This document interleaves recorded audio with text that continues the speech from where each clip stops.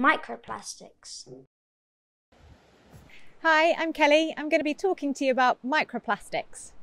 So we can categorize plastics based on their size. So something like this would be called macroplastic, which is bigger than five millimeters.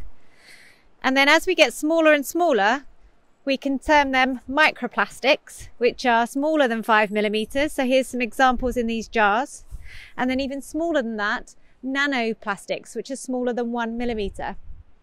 The smaller the plastic, the further they can travel through the air, through the water, and in our soils.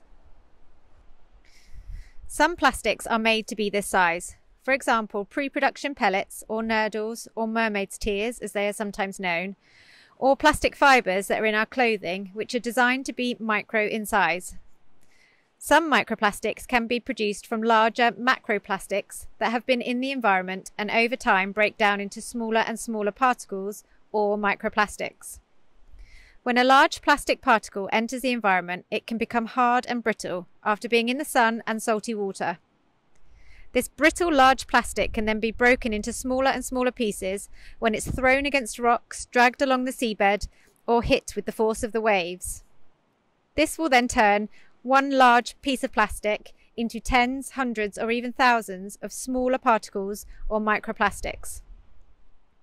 Plastics that are made to be small in size, such as synthetic fibres in our clothes, can be released when we wear them or when we wash them, and they may then enter our drains and enter our waterways and can move through our rivers and streams out to the ocean.